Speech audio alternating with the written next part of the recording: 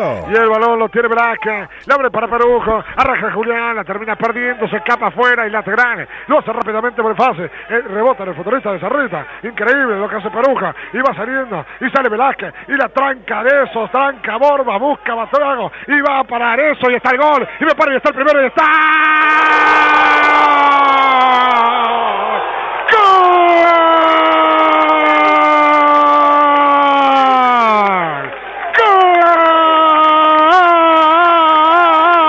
golazo de River. Y el destino claro, el destino claro, Matías Areza, un pase bárbaro de Borbas, el error en la salida. Y allí estaba Matías para tocarla con la parte interna de su botín derecho, para colocarla sobre el parante zurdo. Del arquero Gentillo, lo decíamos hace un rato, recuerden la película de Rocky, lo dan palo. Parecía el ruso, el equipo de Cerrito. Piña por acá, piña por allá, pero allá apareció. Y un golpe de nocao bárbaro que tuvo Arezo, el Rocky que tiene Gustavo el Chavo Díaz esta tarde en el Zarolde para despertar los gritos ya en el comienzo del clausura de los hinchas de River que ganan 1 0. Fútbol a sol y sombra llegando a todo el país y el mundo.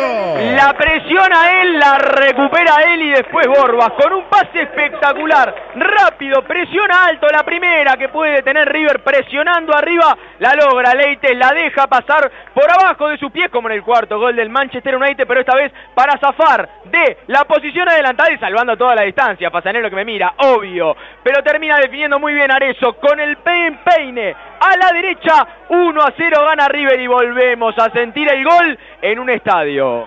Sí, señor, volvió el gol al Zaroldi, volvió el grito de gol con público y lo hizo quien no. ¿Quién va a ser? Matías Arezo después de recuperarla, de lucharla, de ganarla y de definir casi que no se puso nervioso. Pelota a un lado, dejó desparramado el arquero y pone el primero. Lo gana River 1 a 0. Piñas van, piñas vienen. Y Arezo se entretiene. Espectacular, muchachos. ¿eh? Espectacular, Arezo. Un golpe de nocao. ¿eh? Lo escucho a ver ahí.